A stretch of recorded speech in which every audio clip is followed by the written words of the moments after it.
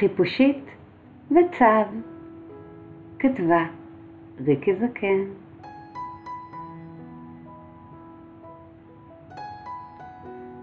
חיפושית וצו נפגשו ביום שרב.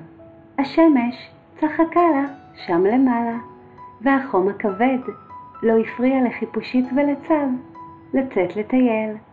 הם נפגשו על שפת הדשא, מתחת לברושים, שיחקו עם אצטרובלים, והרגישו צוהלים. חיפושית וצו על הדשא מתגלגלים. השמש שם למעלה שומעת אותם צוחקים, והשמש נשיקות שולחת לצו וחיפושית. הם הבטיחו כך כל קיץ לצאת לרקוד בגינה. הם ייפגשו על הספסל שליד השושנה. השמש תבשר שהגיעה העונה. היא תצא ותצחק שם למעלה, תפזר עננה. כן חיפושית וצו ידעו שהגיעה העונה. ובלילות קרירים של סתיו, חיפושית חושבת על צו, והאם צו כמוה מחכה לקיץ עכשיו? מה עושה צו בסתיו?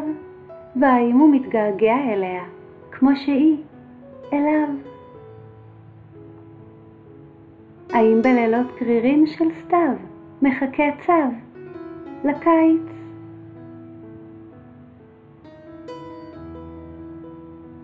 בלילות קרירים של סתיו, הצב בעיקר שוכב על הגב, מסתתר בשריון, מתחמם בתוך גרביים, מחכה שהשמש תטפס גבוה לאמצע השמיים, ושוב יוכל להיפגש עם חיפושית הפצפונת, והם ישחקו על הדשא תופסת. בלילות קרירים של סתיו, חיפושית וצו, מחכים ליום שרב. הם הבטיחו כך כל קיץ, לצאת לרקוד בגינה. הם ייפגשו על הספסל שליד השושנה.